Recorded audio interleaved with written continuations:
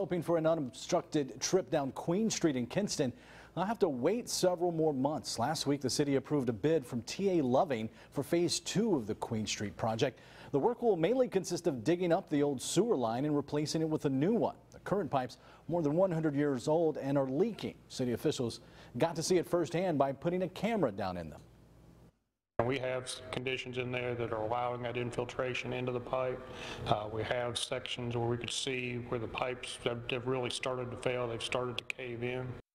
The bid still needs to be approved by the state. If it happens, work will likely start in September and wrap up next April or May.